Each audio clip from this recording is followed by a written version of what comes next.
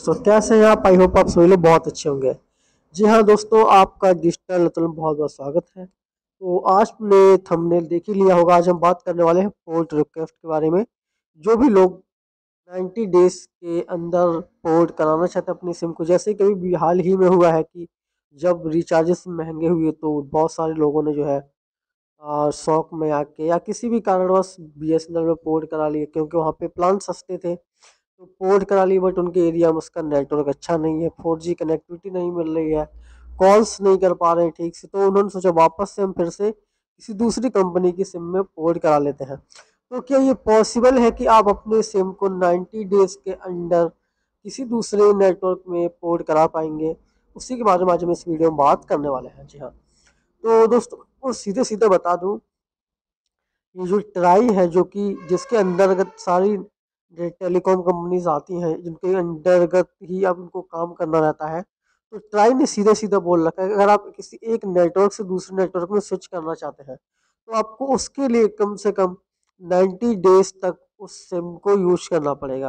यानी कि 90 दिन के बाद, यानी तीन महीने के बाद ही आप अपने सिम को जो है, दूसरे किसी नेटवर्क में कन्वर्ट करा सकते हैं या पोर्ट करा सकते हैं। उससे पहले आप अपने सिम को पोर्ट नहीं करा सकते। जी हाँ।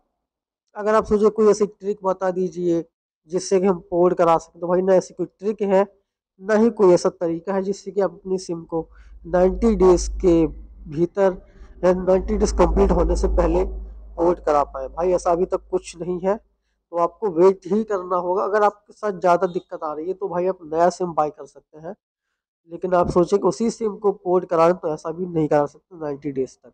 आपको पता है नॉर्मली पोर्ट करने के लिए तो आपको पता ही होगा चलिए वो प्रोसेस में बता देता हूँ। अगर आपके नब्बे दिन कंप्लीट हो गया है तो आपको अपने फ़ोन से एक मैसेज सेंड करना होता है। आपको अपने फ़ोन में उन्नीस सौ पे एक मैसेज करना रहेगा, उसमें लिखना होगा कैपिटल लेटर में P O R T space then आपका मोबाइल नंबर जिसको आप पोर्ट करना चाहते हैं एंड उसको आप सेंड कर दीजिएगा उन्नीस सौ पर। उसी सिम से जिस सिम को आप पोर्ट करना चाहते हैं। तो ये थी पोर्ट के रिगार्डिंग कुछ इन्फॉर्मेशन जो आप, आपके लिए बहुत ही ज़्यादा ज़रूरी थी, जो कि हम लोग को बता दी। भाई, वीडियो अच्छी लगी तो लाइक कीजिएगा।